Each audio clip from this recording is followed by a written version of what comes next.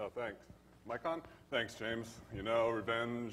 I thought that would never happen, but oh well. Um, first off, I'd like to thank Tess and Kristen for putting this on. We get a chance to thank them. They can thank themselves. Without them, this would never have happened, so I'd like to give a round of applause for them.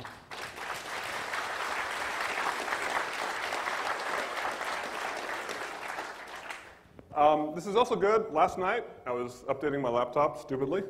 Um, but it works. Uh, latest X drivers, Jesse, where's Jesse? You fixed my bug. Thank you. I got dual monitors working, this thing. Um, I updated the latest X or Open Office. I got presentation mode. Where's Michael? I'm, I'm pointing these people out for when it crashes, we know who to blame. okay, so I'm talking about the Linux ecosystem. Please heckle, ask questions during this. It isn't fun otherwise. Um, which actually gets back to a point I'd like to bring up. A few months ago, I've been giving this talk about kernel statistics all the time. I gave a talk at Google about kernel statistics, who's doing what, where's it going. And somebody made the offhand comment about Canonical, how many patches they contributed. And I said, ah, they have five or six patches. And I didn't think anything of it, but it was videotaped. And Ben, Ben Collins here? Oh, Ben, he's not here. So um, he's called me on that, said, oh, that was wrong. And um, I was wrong they did not do five or six patches. So I'd like to publicly apologize. They did not do five or six patches in all of Canonical's history. They have done 100 patches. So this is my apology. I'm sorry. You, I was wrong. So, any other Canonical employees here?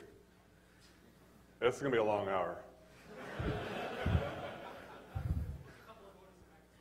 What's a couple orders of magnitude? Yeah, so since they called out and they wanted to explicitly me publicize what they have done, let's look at it. Okay? So,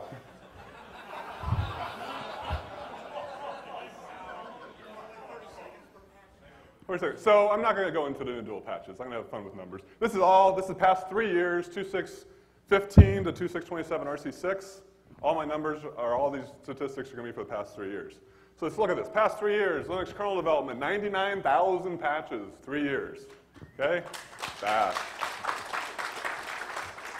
So, canonical, 100 patches, 99,000. What does that come out to be? 0.1%. That's not very good. But there's lots of companies out there, right? Maybe 100 patches is big for a company, right? They're actually 79th as far as all companies that contribute to the kernel, which is good. But they're below such Linux supporters like NVIDIA. Actually, more patches than Canonical. so take those 100 patches, and um, if you were to count those 100 patches at a whole unique individual, right? Look on the individual contributors, comes out there 195th. Or 90, yeah, 195th. That's not very good. The whole company is 195th as an individual, but they're not individuals, or they are unique individuals, and here's how individually. They had 10 contributions, 10 people. You can read the numbers. So why canonical? Why am I picking on canonical? Well, some of you know why. Um, let's look at all distros. Maybe as far as Linux distros go, they're not that bad, right?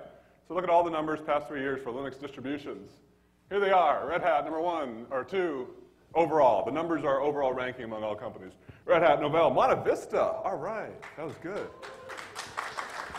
Mandriva. Okay, I'm not picking anybody. Mandriva, who has less people than Canonical, no money.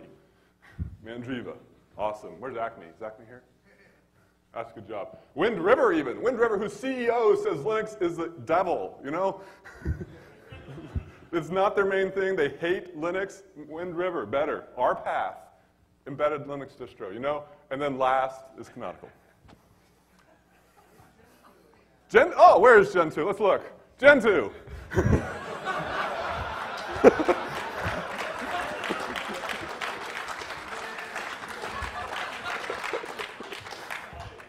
These are people who only contributed with the Gentoo email address. You know, non, these are people doing the work on their own time, getting paid by nobody, really good Linux distro, runs E-Trade, the whole company.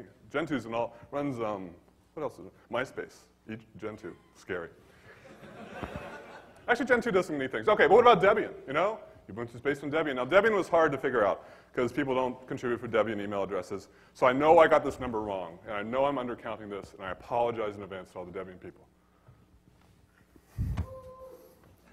I think they can't make up to Monte Vista. Uh, maybe add a couple hundred more. Debian guys, you guys are doing good. I congratulate you. Thank you for all of us picking on you for all these years. So, canonical on the sand. so, that's how that goes. Pardon me? You, that was on the slide. Oh, who's number one? Number one contributor to Linux kernel are individuals. They're people who don't work for anybody. Number three are people who work for people who don't want to be told who they work for, or they don't, we don't know who they work for. So that's all the numbers. I have all the numbers are in the talk on Google, you know.